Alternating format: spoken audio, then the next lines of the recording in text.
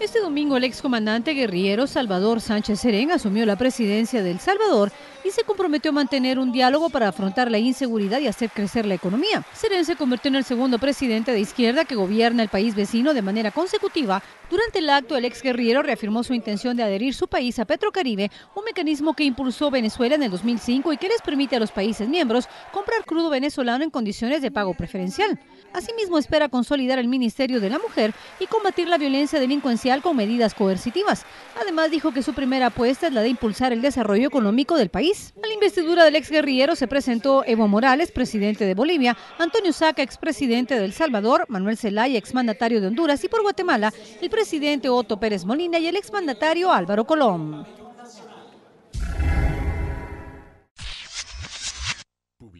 lo más importante de las noticias, un diario internacional de Metro y del grupo Emisoras Unidas, 50 años.